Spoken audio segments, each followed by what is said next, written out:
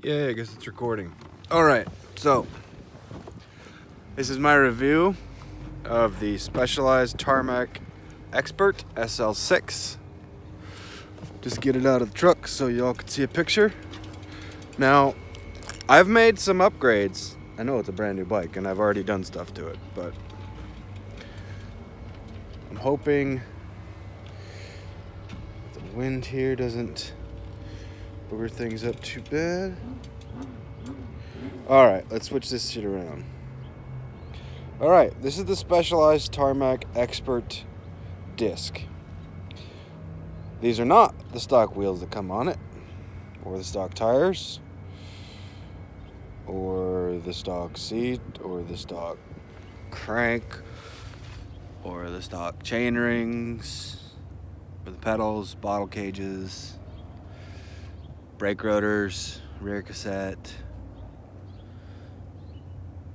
I've basically almost turned this bike into an S-Works bike. Like a Dura-Ace front and rear mech and shifters and a carbon bar. And then the only difference is gonna be the frame at that point. It's uh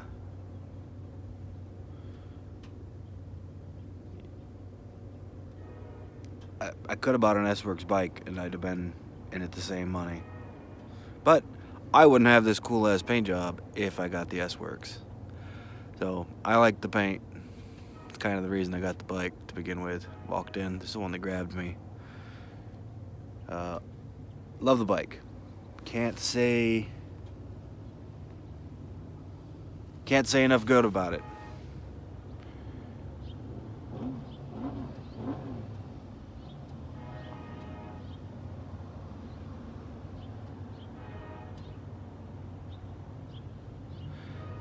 Sorry, awkward pause. I just realized that uh, my frame has marks in it from getting sat in a trainer that I never sat it in because I don't have that kind of trainer. Huh. Guess the bike shop is buying me a new frame. Cool.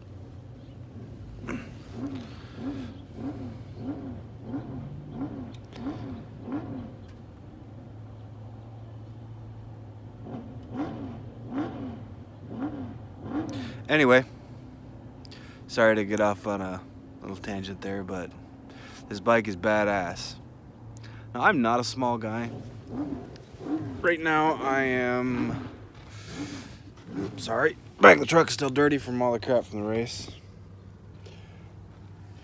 250 something. I ride this bike, ride the shit out of it.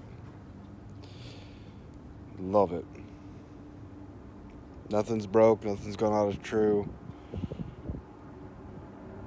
I have only done run one race on these tires and wheels because these are going to be my race wheels.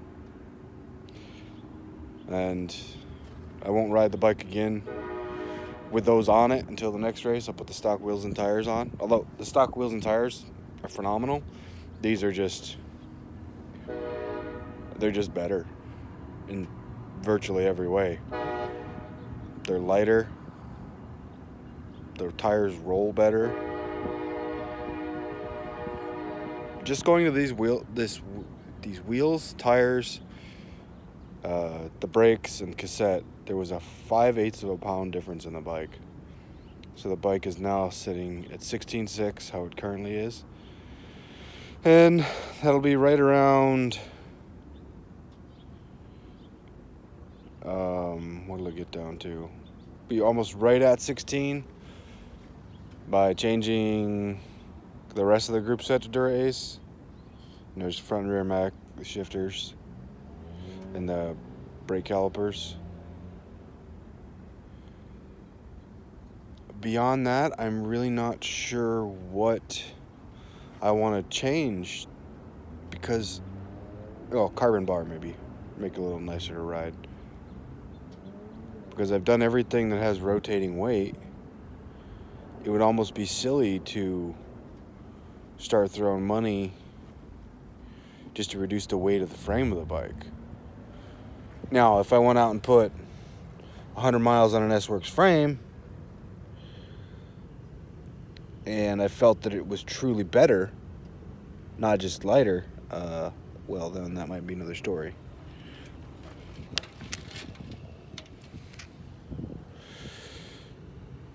All right, well, that's all. Later, bye.